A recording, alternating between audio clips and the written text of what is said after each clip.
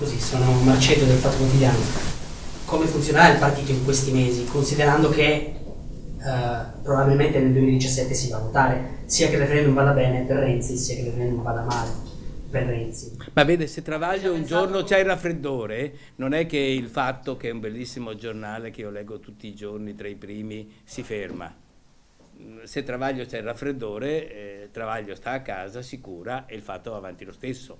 Perché vede, la, la qualità di un'organizzazione si misura non tanto quanto c'è il capo, la direzione che controlla, ma quando la direzione e il capo si assenta per una qualche ragione.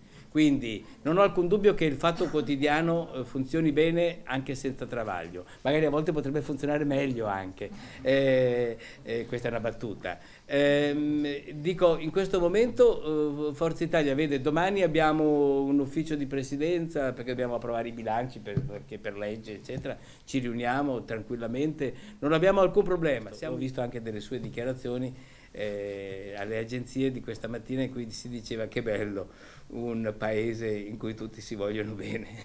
ecco, e, e, e questo è assolutamente condivisibile come sentimento. Purtroppo questo paese si è per troppo tempo imbarbarito. E, e, quindi grazie Presidente Berlusconi che anche con questa prova eh, ci dai una via eh, di riconciliazione per quanto io penso che eh, dovrebbero operarlo domani o dopodomani, quindi questo è quanto e penso ne avrà un paio di giorni di terapia più o meno intensiva e poi ci sarà la riabilitazione e così via.